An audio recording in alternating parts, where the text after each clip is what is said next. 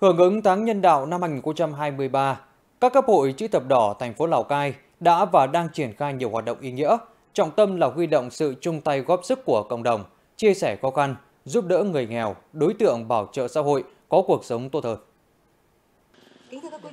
Sinh sống ở thôn Bắc Công, xã Hợp Thành, gia đình ông Nông Văn Khìn, bà Mã Thị Ưởng thuộc diện hộ nghèo, hai con đều bị khuyết tật, nhiều năm sống trong ngôi nhà xuống cấp không đảm bảo an toàn.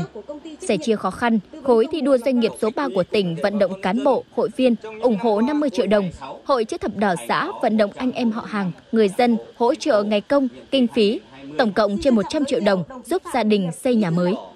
Tôi cũng ờ, xin cảm ơn doanh nghiệp chữ thập đỏ mới là các ban ngành ngành đoàn thể trong xã giúp đỡ tôi được cái nhà được cái nhà tôi lại thêm ờ, vui mừng phấn khởi để tôi làm phát triển kinh tế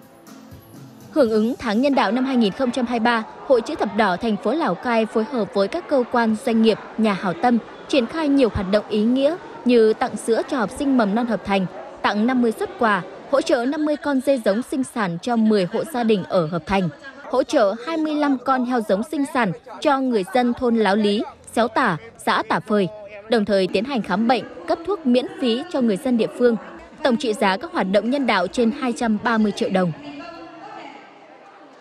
Bà con nhân dân cũng ờ, rất là vui mừng khi được nhận các cái phần quà cũng như cái sự hỗ trợ chữ thập đỏ và chúng tôi tin rằng từ cái hộ sự hỗ trợ đó thì có rất là nhiều các cái hộ gia đình sẽ có cái điều kiện phát triển kinh tế để thoát nghèo ạ.